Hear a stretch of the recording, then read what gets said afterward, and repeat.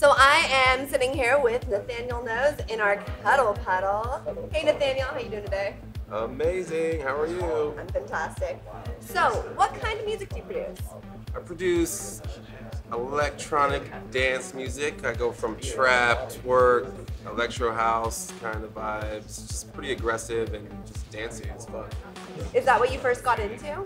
I first got into like drum and bass and trance way back before probably all these people were born. But um, yeah, so that's like my influences. And from there, I progressed through just many of the changes through genres throughout the years. And still just love like electro house, but still appreciate like drum and bass and trance, dubstep, and everything else in between. When did you first start getting involved in the electronic dance music scene? 15 years ago, We have a freaking veteran over here. Oh my gosh. used to rave like a little little rave child when I was 15 in Arizona, desert like illegal raves. Is that uh, where you're from? From Tucson, Arizona. Oh wow. When did you move out here? I moved out here two months ago from Portland, Oregon.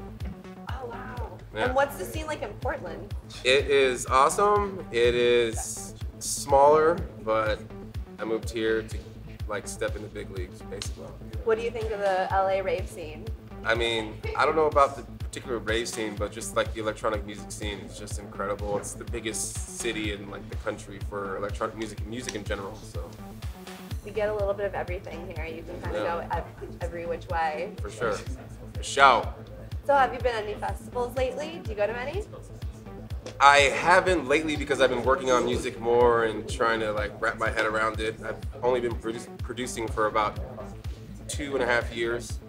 Been DJing for about eight years, so got some good uh, mentors: SPL, Hateris, Seth from Tri-. Seth from Triage have like taught me their ways, and now I'm able to make music and still rep them hard as fuck though. You have some serious mentors. I do. I like this.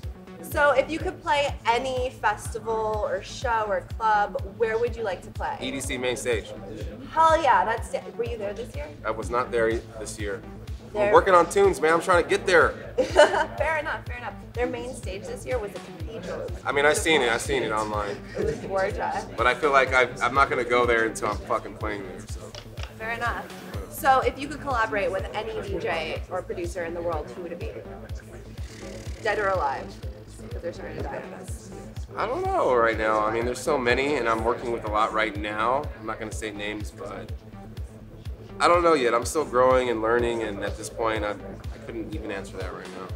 Do you think you're gonna stay in the dubstep trap genre? Or you No, I, I, I'm, ultimately I love electro house. It's like my jammy, and that's like main stage shit. And this is what I've ultimately loved. I loved up tempo, like trance and everything, and I've just progressed. I love everything else as well, but my main is like electro house, big room, like.